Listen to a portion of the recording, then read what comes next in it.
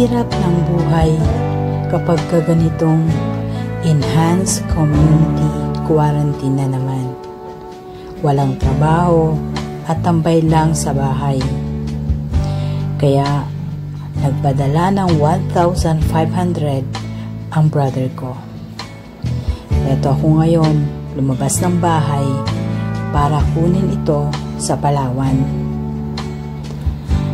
Nakuha ko na ang pera at habang nakatayo ako sa labas na pinagmamasda ng aking paligid, umagaw sa pansin ko ang tahimik at walang kaingay-ingay na palibot. Nakaagaw pansin sa akin ang mga vendor na nasa harapan ko. Yung nagtitinda ng pizza. So, na-imagine nyo na ba kung paano gustong gusto kong bumili ng pizza?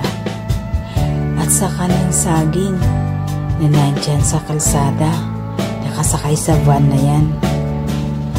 Pero naisip ko, baka magtagal pa ang ECQ.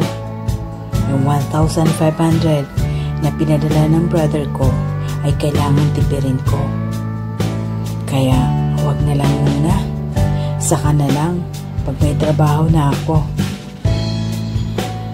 So, nagpaikot-ikot pa ako ng tingin sa aking paligid. Tiningnan ko ang mga taong naglalakad.